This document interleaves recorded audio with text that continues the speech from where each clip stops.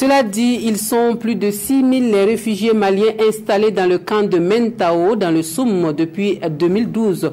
C'est l'un des plus importants sites d'accueil des personnes exilées au Burkina Faso.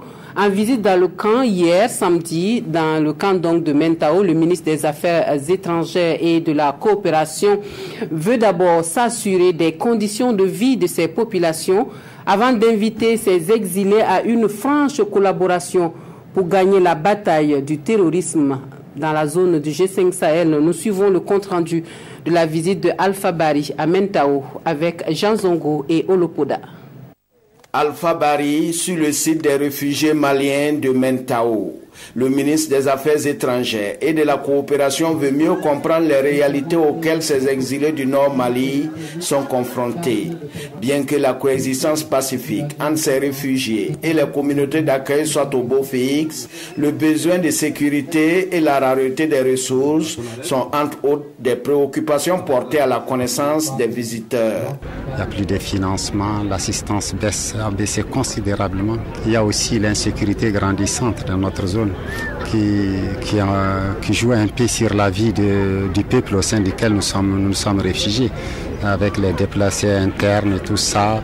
Sur ce site vivent plus de 6 000 personnes réparties dans 1526 ménages et ce nombre risque de s'accroître avec des flux de demandeurs d'asile en raison de l'insécurité persistante dans l'espace G5 Sahel.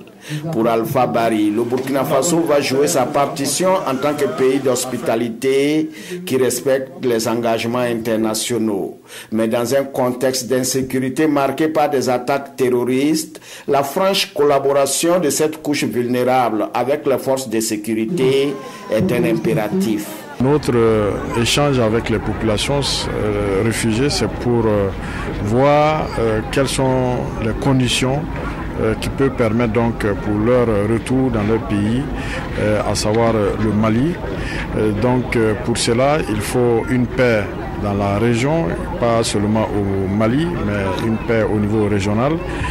Et c'est pour cela que nous les avons invités à beaucoup plus de collaboration avec les autorités, avec les forces de défense et de sécurité par rapport au problème du terrorisme que nous vivons, nous avons besoin d'une franche collaboration de toutes les populations, y compris donc euh, les réfugiés, de sorte que nous ayons les meilleures informations, les meilleurs renseignements pour faire face donc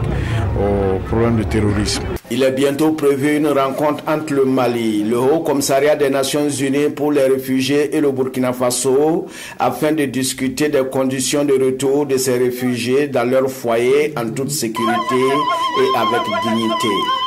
En attendant, le ministre en charge de la diplomatie burkinabé encourage les efforts des autorités locales, des organisations humanitaires et des leaders d'opinion qui se sont investis dans l'accueil, la protection et l'assistance de ces réfugiés.